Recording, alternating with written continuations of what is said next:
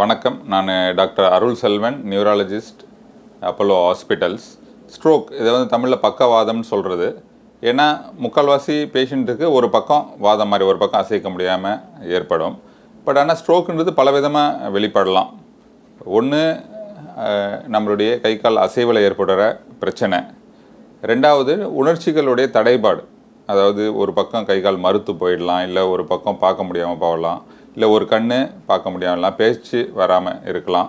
So இந்த மாதிரி இது முக்கியமாக என்னென்னா ஸ்ட்ரோக்கில் வந்து சடனாக வரும்.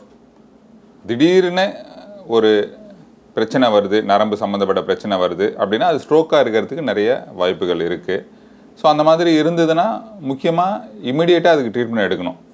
அதாவது இந்த மூளைக்கும் மற்ற உறுப்புகள் ஒரு கிட்னி ஹார்ட்டு லங்ஸ் இதுக்கும் முக்கியமாக ரெண்டு வித்தியாசம் இருக்குது முதல் வித்தியாசம் இப்போ மற்ற ஆர்கன்ஸ்க்கு வந்து ரத்த ஓட்டம் இல்லைன்னா கொஞ்ச நேரம் அதனால் மெயின்டைன் பண்ண முடியும். சில பேருக்கு ரெண்டு மூணு நாள் வரைக்கும் ரத்த ஓட்டம் இல்லைன்னா கூட அந்த உறுப்பு வந்து பர்மனெண்ட் டேமேஜ் ஆகாது.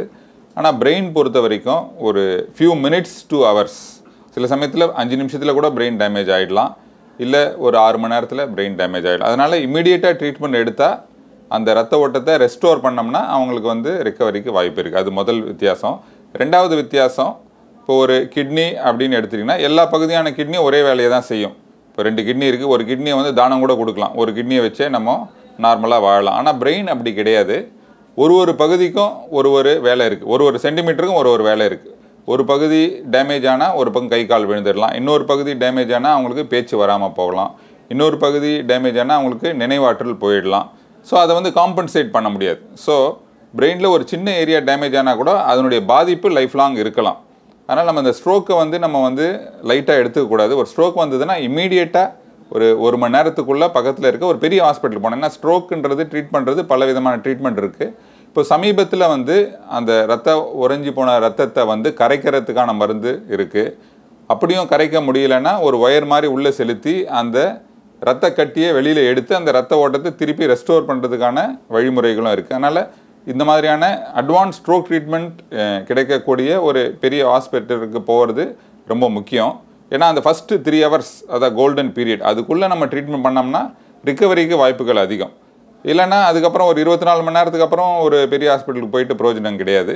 அதுக்கப்புறம் வந்து வெறும் ஃபிசியோதெரப்பி எக்ஸசைஸ் மற்ற ட்ரீட்மெண்ட் எடுத்தால் அது சரியாகும். இது வந்து ஸ்ட்ரோக் வந்ததுக்கப்புறம் பட் ஸ்ட்ரோக் இந்த மாதிரி வராமல் தடுக்கிறது எப்படின்னா லைஃப் ஸ்டைல் மாடிஃபிகேஷன் நிறைய நடக்கிறது. சாப்பாட்டில் உப்பு எண்ணெய் பொதுவாக கம்மியாக எடுத்துக்கிறது.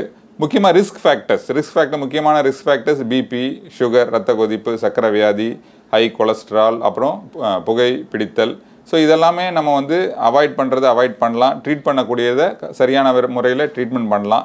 பிபி சுகர்லாம் நார்மலாக இருக்க மாதிரி பார்த்துக்கணும். ஏன்னா தே ஆர் சைலண்ட் டிசீசஸ் அப்போ எதுவும் தெரியாது. பின்னாடி ஸ்ட்ரோக் வந்ததுக்கப்புறம் வருத்தப்பட்டு பிரயோஜனம் இல்லை. ஸோ இந்த லைஃப் ஸ்டைல் மாடிஃபிகேஷன் அந்த ரிஸ்க் ஃபேக்டர்ஸ் எல்லாம் ட்ரீட் பண்ணோம்னா நம்ம ஸ்ட்ரோக் வராமல் தடுக்கலாம். ஒருவேளை ஸ்ட்ரோக் வந்ததுன்னா இமிடியேட்டாக அதுக்கு ட்ரீட்மெண்ட் எடுத்தோம்னா இப்போ ஸ்ட்ரோக் இப்போ இந்த இந்த வருஷம் வந்து இந்த வேர்ல்டு ஸ்ட்ரோக் ஆர்கனைசேஷன் வந்து ஆஃப்டர் ஸ்ட்ரோக் அப் அகெயின் அதாவது ஸ்ட்ரோக் வந்தாலும் நம்ம வந்து எழுந்து நிற்க முடியும் நடக்க முடியும் நார்மலாக இருக்க முடியுன்றது தான் தீம் அதுக்கு அடிப்படை வந்து இமிடியேட்டாக ட்ரீட்மெண்ட் எடுத்துக்கிறது. நன்றி.